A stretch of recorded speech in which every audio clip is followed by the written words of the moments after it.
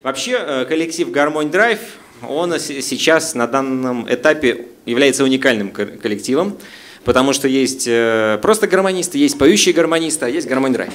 Вот. Э, наша задача сделать современный коллектив,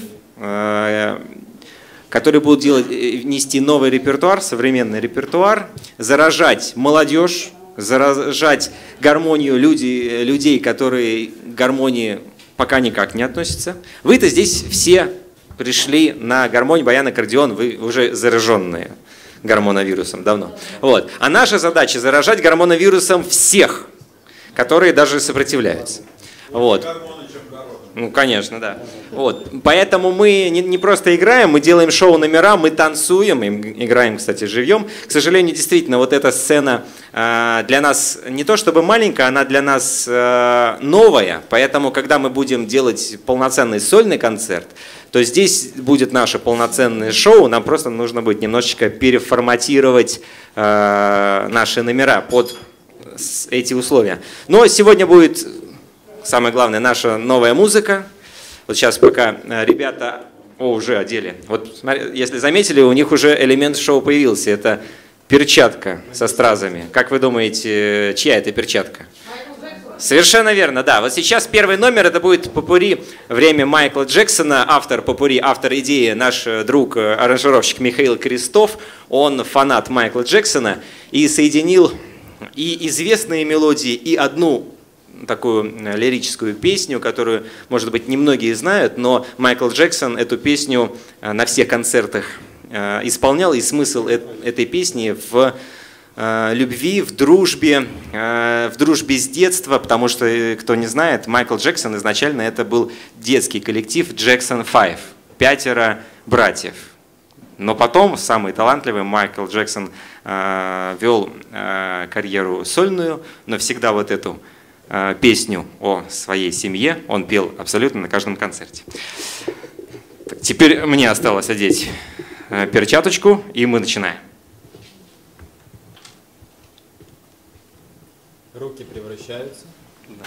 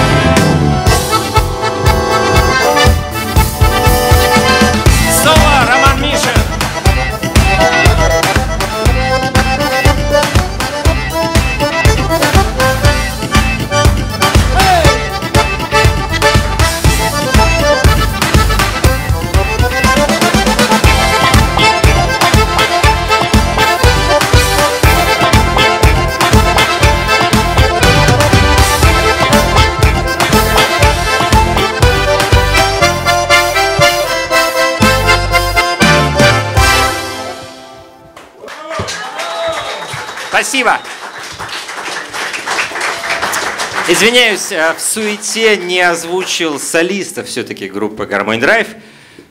Павел Фомин, лауреат всероссийских международных конкурсов, чемпион мира по гармонии. А тоже, кстати, магистр Российской академии музыки имени Гнесиных. Роман Мишин, лауреат всероссийских и международных конкурсов. Аплодисменты заканчивает сейчас Гнесинскую академию. Ребята, кстати, большие молодцы, потому что они не только являются концертирующими гармонистами, они еще занимаются педагогической деятельностью, и это очень здорово, потому что надо учить молодое поколение играть на гармониках. Потому что когда-то и Владимир Бутусов был юным баянистом, я когда-то юным гармонистом, потом вроде сейчас выросли и готовим уже новую смену. И ребята молодцы, что заранее задумываются об этом. Следующая наша композиция, автор ее известный баянист Эдуард Аханов. А, он автор идеи, я ему, скажем так, зерно вложил, а, и он сделал номер под названием «Миссия выполнима».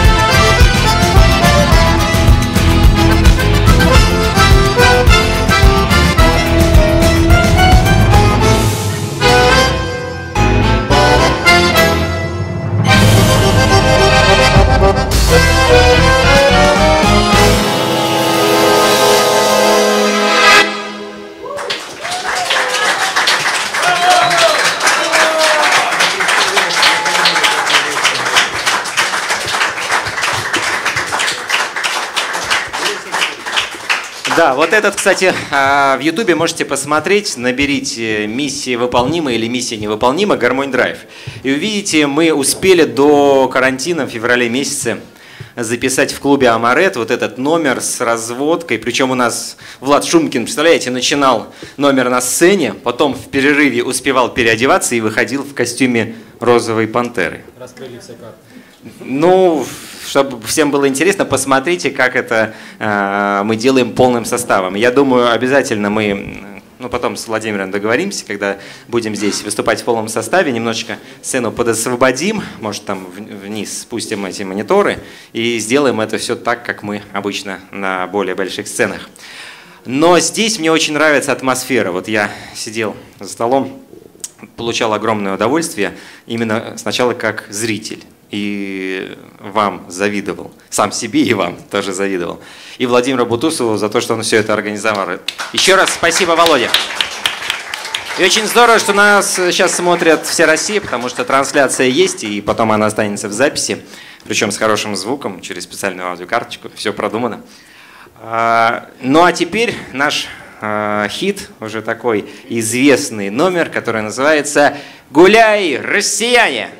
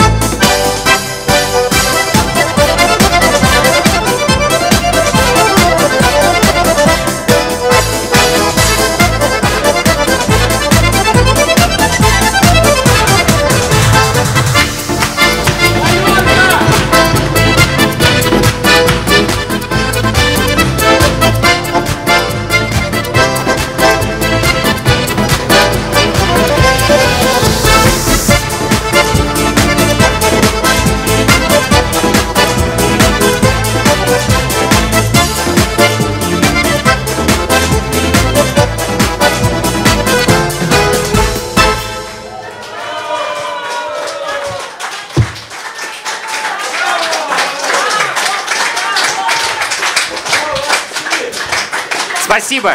Для вас выступала группа «Гармонь Драйв» в составе Павел Фомин, Роман Мишин и Павел Уханов.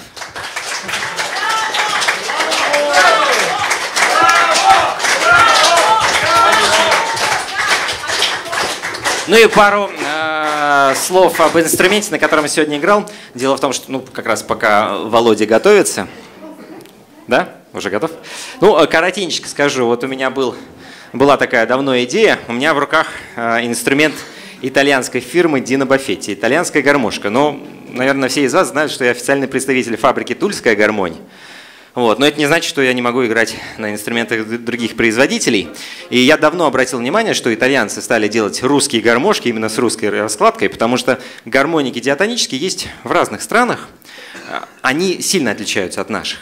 А итальянцы, увидев, что у нас в России гармонь поднимается, развивается, решили даже для нашего рынка делать инструменты с регистрами, без регистров, разные фабрики, и Скандали, и Фонтини, и Динобафетти, и там Виньоне.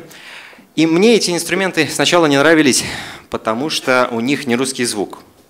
Ну, это такое мое первое впечатление, когда берешь гармошку, о, итальянская, клус, круто там, начинаешь, как рванешь на ней. Она, во-первых, сказала, а зачем ты меня рвешь?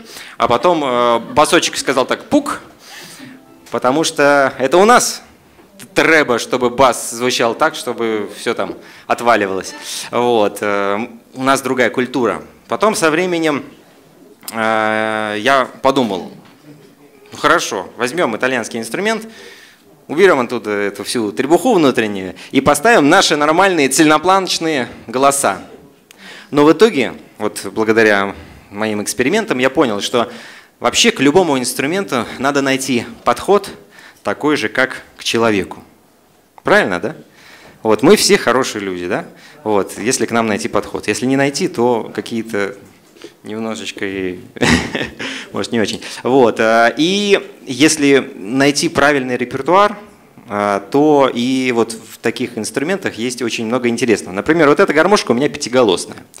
И когда мы с мастером делали цельную планку, мы все-таки решили отойти от э, мензуры итальянских голосов. И по звуку, в принципе, инструмент получился таким больше европейским. Но все-таки планка гораздо лучше качеством. И мне даже это понравилось, что здесь есть э, несколько вариантов аккордеонов. Потому что ну, многие из вас любят, например, аккордеон, правильно? А у нас на самом деле это все один и тот же инструмент. Гармонь, баян, аккордеон, мы так все это разделяем, а одним словом это гармоника. И если э, гармошка, то есть я играю на гармошке, я на аккордеоне плохо умею играть, но если мне хочется звук аккордеона, если вам ну, услышать, если вам хочется звук аккордеона услышать, то какая разница, чтобы я играю на гармонии, правильно? Вот здесь есть такой интересный французский розлив. Кстати, я вот для своих подписчиков в интернете, в ютубе хотел сделать видеообзор, но в итоге такой микро-видеообзор э, делаю для вас. То есть у вас такая эксклюзивная возможность. Вот смотрите, я сейчас продемонстрирую несколько регистров и уже потом передам Владимиру бразды правления дальше. Если глаза закроете, то сразу услышите аккордеон.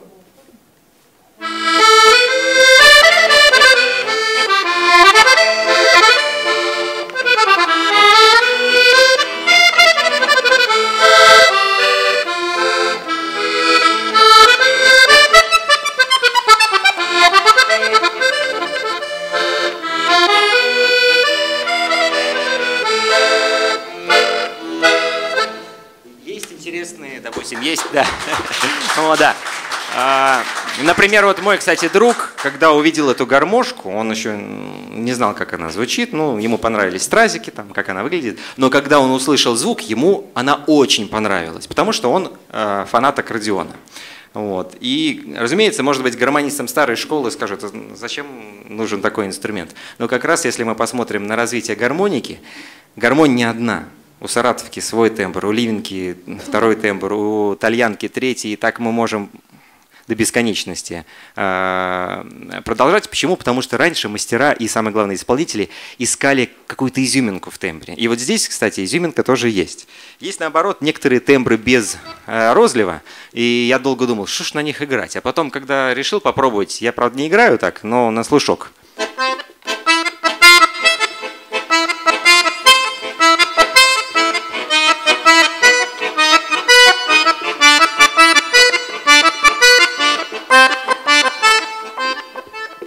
Например, если я на своей буду тульской гармошке играть, это будет звучать не совсем так. А мне, например, хочется сыграть пиццолу. Поэтому можно взять такой инструмент и сыграть на нем. И это будет звучать более органично. Никто не будет говорить, а зачем гармонист играет пиццолу на гармошке. Потому что это уже другой инструмент. И там, если мы переключим... А